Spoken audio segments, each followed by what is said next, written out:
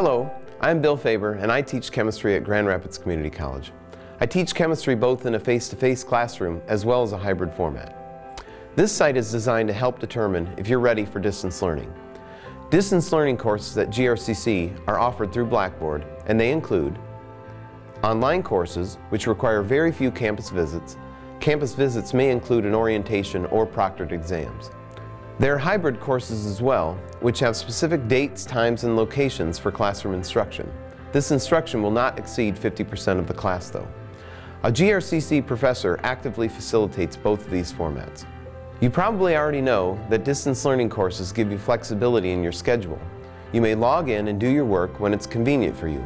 However, these courses have the same rigor as a course offered on campus, and success requires discipline to get the work done by the established deadlines.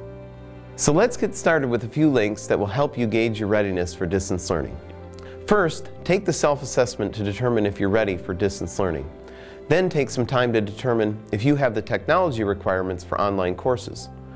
There's also a time management link to help you decide if you have the proper amount of time in your schedule to be successful in an online course.